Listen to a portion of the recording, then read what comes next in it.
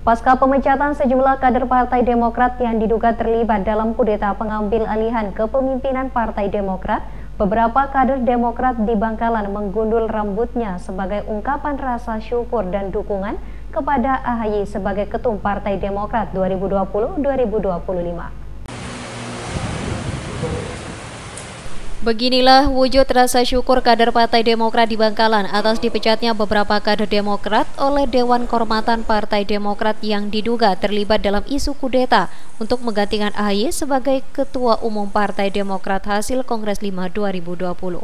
Langkah ini juga sebagai salah satu bentuk dukungan kepada AHY untuk terus memimpin Partai Demokrat sampai dengan tahun 2025.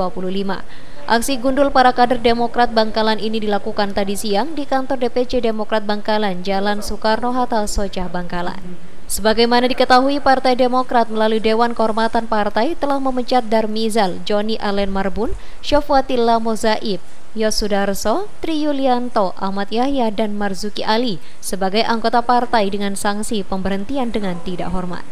Ketua DPC Demokrat Bangkalan mengapresiasi aksi yang dilakukan anggotanya ini sebagai salah satu bentuk rasa syukur atas langkah yang dilakukan DPP Demokrat beberapa waktu yang lalu sekaligus dukungan kepada hasil Kongres 5 2020. Inisiatif sendiri atau ada paksaan dari partai sendiri untuk gondolnya sendiri?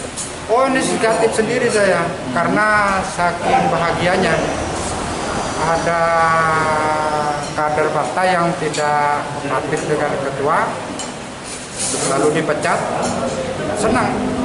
Dipecatnya akhirnya saya gondol dari saking bahagianya. Berarti betul rasa syukur ini Pak ya? nah ya gimana ya? Saya tidak ingin partai demokrat di bercerai-berai.